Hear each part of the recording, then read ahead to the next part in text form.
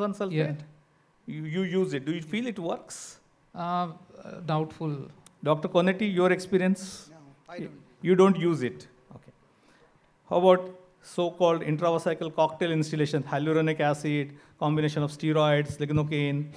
Uday, do you use it? You will be getting such patients. Uh, I don't use it actually, but it can be used. So there but is a lot of you, data. you don't feel okay. I, I, so a lot use of things are described in the literature like conjugated estrogen, pentoxifylline, but perhaps coming to the role of hyperbaric oxygen therapy. Dr. Conetti, your experience?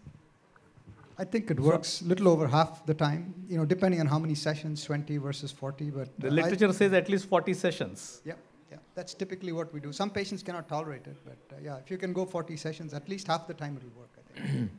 Uday? Yeah, You- so I have got this HBO uh, right now. You have a Lucknow. unit yeah. HBOT. So uh, now I am uh, sending these patients to get the. Uh, Directly you recommend yeah. them. Yeah. And it has been shown with hyperbaric oxygen therapy, if you give it early, perhaps it will work better. It won't work, obviously, when there are a lot of clots and a lot of clot retention, that kind of a thing. So there is a good long-term data about use of hyperbaric oxygen for radiation-induced cystitis. Uh, the Canadian Urological Association presented a best practice report. They classified these into different grades, and they, gave, they have given a algorithm how do we treat these management. But obviously, hyperbaric oxygen, if given early, works. Suppose that is not working. Role of cystectomy, diversions. Any precautions during this cystectomy? Dr. Conetti, your experience. Cystectomy for a radiation-induced cysti, hemorrhagic cystitis. Yeah, so obviously you have to be careful because if it's a post-radiated bladder. And these cases, I find uh, robotic cystectomy is a lot better because the planes are much easier uh, posteriorly, and you know you can do it much cleaner. Uh, and for the urinary diversion, you have to be thoughtful about what segment you're going to use. Whether it's small bowel, you have to be careful whether you want to use small bowel, T colon, or, or any of the colonic segments. Uday, your opinion? Yeah, so one patient right now in my ward, actually, he has got everything. So we have given the L- LM uh, as well, but he's still he's not All these are described, but he, he doesn't uh, respond that. Uh, so you are LM planning a cystectomy. So we got the PCN done right. now. So PCN he's on. PCN for diversion. but he's yeah. heading towards a cystectomy. Maybe, may, may require. So, Sanjay? Okay, Gagan, you want to so just a quick addition. So, you know, because we get a referral for these uh, radiation cystitis for all pelvic malignancies Yes, across the country. cervix. Yeah, the numbers are huge here. We've already exhausted the list of all these. Hyperbaric has shown the advantage only in grade 1 and 2 Early. and the primary endpoint was not resolution of hematuria, it was LUTS. Uh, just wanted to inform that we've recently concluded a phase two study And- of uh, chlorophyllin, actually oral Chlor- chlorophyllin. Uh, uh, actually, the results would be out in print soon, but just to mention that the results are actually seeming too good to be true. Okay. Uh, we've also looked at some quality of life Could you briefly parameters. tell us about that chlorophyll? Uh, so I think we time. can talk. It's it might take longer, but all I'm saying is that yeah. So it's basically an oral tablet. We it has been developed with the Bhabha Atomic Research Center over a study of a decade actually. Uh, has been there for many years, this is but developed for, to reduce the radiation-induced toxicity. Yes, yeah. So there were animal studies to see that it ameliorates radiation and chemo-related toxicity on the animal tissue. Uh, the pharmacokinetic studies have been done. The tablet has been produced by a company in Bangalore, actually. So this is an oral it's an oral preparation. And how long it's to be given? So it, it has to be given at a certain dose. How long for the study we have, for the phase two study, we've used it for three months. But what we've realized is that a longer thing, because the benefit is so much and there is hardly any side effects, So my probably next question can is, it. is it available for use for the other urologists? So, So that is the next question. Yeah, yeah. There's, there's, I mean, there's. Yeah, everybody would want to know if yeah, it's yeah, working so well. Many, many of these things are going to be in Not print yet soon, available. actually. Yeah, yeah. Okay. Yeah, okay. We'll talk about it. Both, both actually. Sanjay, you have anything, any experience with post-radiation cyst? Yes. Uh, cystectomy is post-radiation. Uh, no, I, I have done a cystectomy in post-radiation one patient. Any specific? Mm, No, difficulties like doing a salvage cystectomy after radiation, uh, almost same. It's not more difficult. The mm, uh, the difference in managing these patients are like each and every patients are very different. Some patients just respond to simple cystoscopy and fulguration. Some patient Yeah, does not respond agreed. to any treatment. And uh, there are now literature coming up with epinephrine, intravesical epinephrine, probably in radiation cystitis. So Which is also used for radiation proctitis. They are using intramural So we have used in one patient, and um I don't know. It's very early to say how it will work. Dr. Kulkarni, briefly, your experience with cystectomies post-radiation, you must have done many, and Dr. Gupta, you also briefly.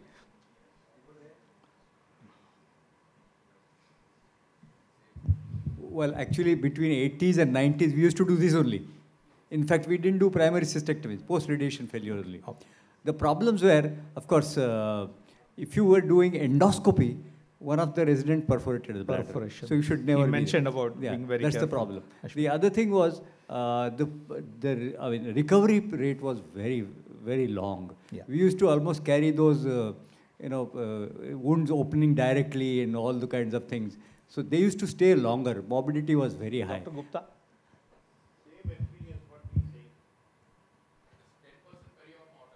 Yes, in 80s and 90s. even higher sometimes, And uh, and significant more.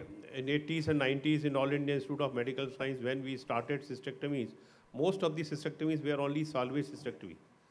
The problems he has already highlighted, the adhesions, it will take long operating time, more incidence of complications, and diversion. There is okay. no question of all this neobladder. We used to do a, a conduit diversion, otherwise transverse colon diversion. Okay. Thank you, sir. So radiation cystitis, the severity can vary. Sir, one thing. Yes, Amma. Sir, uh, so Dr. Conentino, I had heard him say once that he has never seen a bladder that does not come out. And I kind of agree with that. Even if it is stuck, thoda bleeding hoga, time rather lagega, but it comes out. The problem, I think, is the bowel anastomosis. I have seen higher incidence of bowel, Bowel leaks, injury, and that yes. is something which can kill the patient. Urine leaks can still be managed with PCNs. They will ultimately heal. Bowel leaks require re-exploration Yeah, that is the, stomas and everything and that is i think which leads to the main morbidity and that is why sometimes when the patient has a single functioning kidney it's best to do a ureterostomy, for that patient Yeah, okay. Tik, Thank you, we'll move on. Can, can I make a Yes, comment here? quick.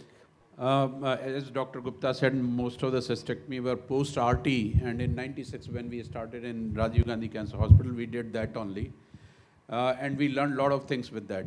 As uh, Badri mentioned, you, in that time we were not using ileal conduit; we were using transverse colon conduit, and forget about neobladder. But with the time, as the time improved, because the change in the technique of radiation therapy, I have done post radiotherapy cystectomy and the, Yeah, followed by neobladder also. It's So feasible in the- select the cases. The, the leak which occurs is because of, you know, you have to tailor your surgery, you have to modify your surgery. The ureter, the- do not take the distal ureter at least. That is avoid Lower one third of the pelvic ureter, come Fine. anastomose as up as possible. Fine. If you are doing ileal conduit, take the proximal segment, make sure that this Yes, sir. ileum is not irradiated, there is no edema in the bowel, there is no petechial hemorrhage in the mesentery, and if it is there, though, go, then go for transverse colon. Fine, thank you. So Our we'll move on to the, experience- Our experiences is uh, also like that in Bangladesh, Dhaka. We are very uh, frequently confronted with this kind of situations. So in doing anything different you do, sir, uh, from whatever are, has been discussed? earlier we are using only the uh, ureteric trans uh, ureteric cutaneous Ureterostic monostomy. diversion. And nowadays we offer them either colonic or the proximal, uh, proximal ileal conduit and they works better. Okay, sir, thank you. and radiation improves. Thank And we are using pentoxifylline in our most of the uh, cases. Some of the patient, half of the patient, they respond very nicely, Okay, sir, but thank you. others are not. Thank you. We'll move on to the last case. This was a 66-year-old male diabetic hypertensive, six months hematuria with clots. Ultrasound and CT showed a 5 centimeter posterior wall solid mass. Histology was a high-grade TCC muscle invasive. A PET CT was done, and this showed obviously an FDG with bladder mass, no pelvic lymph nodes, but there was one suspicious node at the aortic bifurcation, and these are the images. One node increased uptake at the aortic bifurcation, while there are a couple of nodes para-aortic which have no FDG uptake. So should we call this as an N3 or an M1A? Dr. Uday. Up to common iliac, it's come and three. This is aortic So above bifurcation, that, just at that. Yeah, M1A. So you would call it as an M1A. M1A, it is possible, uh, it, it positive. So the, my problem is that if you see uh, the other, generally you won't find the skip metastasis actually in CA bladder. It's Yeah, very there was nothing in the So, pelvis. yeah, Hmm. so nothing in the pelvis. Nothing in the So I pelvis, at least on the PET. Yeah, so uh, See. whether this is positive or something, I would go for the FNAC if that can be too done. small to, do prove an it's metastasis or My not. radial, Okay. interventional radial is difficult to. Uh, yeah. So okay, we'll move on. So anything above the pelvis would be should be taken as a metastatic. Uh, N1, N2, N3, and N4 are well described in the current AJCC classification. So anything above the pelvis, that is all retroperitoneal nodes, would should be taken as M1A. So biopsy was considered; it was not possible. So how do we manage? In view of that retroperitoneal node, should be a neoadjuvant chemo followed by surgery or should be an upfront followed by an adjuvant therapy? Dr. Ravi, what would you offer him? I would go for a neoadjuvant chemo followed by, give a chemo, reassess it. If there is a complete response, I would offer him a local uh, uh, control therapy. So he needs a cystectomy. He needs a So would you also resect the lymph nodes, even if there was a complete response? And it's very likely he might get a complete response, at least in the nodes. If possible, intraoperatively, we would try chasing it, but I wouldn't uh, go beyond and above to chase that nodes. So you, you would do an extended lymphadenectomy. You would not really chase up to the para-aortic and all that. Uh, Amit, your opinion, new adjuvant, obviously, or you would you say prove that it's a metastasis and then only I will give an adjuvant? No, I think new adjuvant chemo. New adjuvant is very clear cut. Okay, Dr. Conetti, any difference? I'm a little worried about you know his consistent uh, clot retention and how he's going to tolerate the neoadjuvant chemotherapy. Though that's ideal. No, he's that's not in clot retention. Was presenting with hematuria with clot, not in clot retention. I see. Uh, but yeah, I would. The other thing to think about: can you laparoscopically or robotically go in and just take out the node, even if you cannot percutaneously nail it, because you want to identify whether that's truly metastatic disease or not. Yeah, but th- that decision is uh, for what? Giving a chemo or not? Correct. No, then it won't be neoadjuvant chemo, right? So if this is M1A, then Hmm. you, they may give six cycles of chemo as opposed to four cycles. So, your approach may be a little different. Okay. What you do. So, so it's coming at the question is should will the metastatectomy help in this situation? Amit, what's your opinion? We are going to give a chemo. We're going to do a surgery. I think um, in the present era, we would definitely want to go in this direction. We- We're becoming more and more aggressive. So someone who responds very well, a solitary node left behind, you would think of metastectomy, or I don't know if we could do SBRT to the node and think of something like that direction. Dr. Malik, your opinion? Uh, yeah, for nowadays we are uh, moving towards, uh, actually we are treating more radically in oligometastatic situations. Yes. So uh, definitely either by surgery, if not possible, then uh, during radiotherapy we can chase that node. So I think we are moving towards a multimodality therapy, and there is a role for a consolidative surgery also.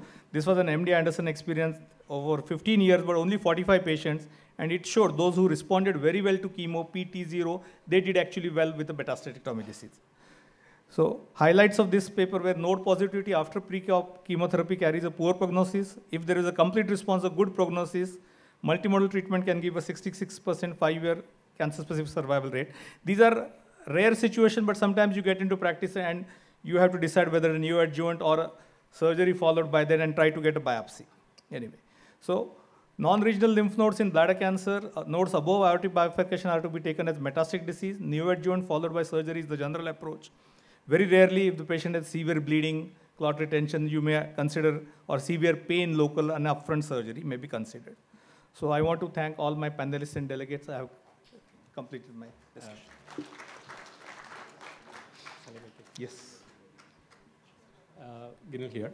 Uh, we have actually a few patients who, whom we had done the Osaka protocol is actually from Japan where in node positive that has shown a better result compared to other uh, modalities like chemoembolization along with radiation. We, myself, Faridas and Nikhil, we had a team and we used to have a combined this thing. And uh, what patients we had is one was a parietic node with uh, inoperable thing. We could have a uh, it was in the palliative in that we could have a cytoreduction with Osaka, Osaka protocol. Second was actually a renal failure patient who had a 6-7 uh, creatinine. We had a dialysis plus radiation plus chemotherapy together. So this is actually, we feel that from our limited experience is a good thing and uh, report from Japan is excellent. So I think it is one thing, modality which is underutilized for compromised patients. Srinivas? Another comment which I would like to make is even in node positive, recently, two weeks back, there was a publication in JCO. Uh, it was from, again, a multicentric retrospective study uh, from United Kingdom. And they saw that uh, in node positive patients also, it is reasonably safe to opt for uh, uh, trimodality therapy um, with uh, radiation. Bladder therapy. preservation is safe. Uh, this is published about two weeks back. Perhaps that is stretching About it too much. 300 We'll patients. await more data. Absolutely, but Yeah. I just want to, you know, put Yes, this in, okay. in front of the audience. Thank you very much. Thank you all my panelists. Thank you, Yes, all sir. the panelists. She had- You he have had one something to question. say?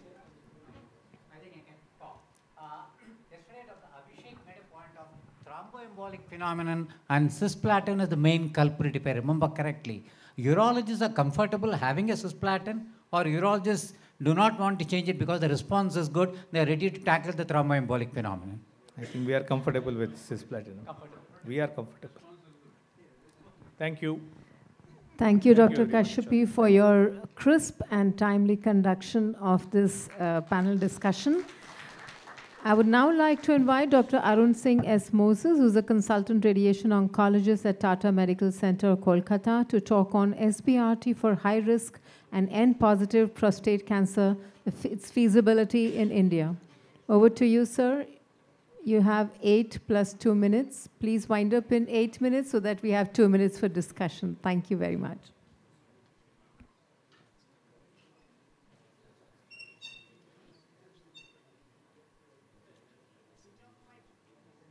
All right. Yeah. All right. So good morning, everyone. Uh, the topic given to me is uh, SBRT for prostate cancer. So SBRT is the setting uh, of or the technique of delivering radiotherapy where uh, we end up delivering a high dose per fraction, and in the setting of uh, prostate cancers, it is usually in the ranges of seven to eight gray per fraction. And these are usually delivered over relatively few uh, fractions, uh, which are either delivered uh, all, on alternate days or uh, once weekly uh, in most settings. And uh, this is especially possible in the prostate because we, we have the technology now that allows us to deliver the radiation dose very conformally and also be very precise about it with the use of image guidance to allow us to target the prostate very precisely. And also the fact that the uh, biology of uh, pro- prostate, uh, which is uh, relatively slow dividing in comparison to the uh, nearby normal tissues, and these two facts are what uh, allows SBRT in prostate.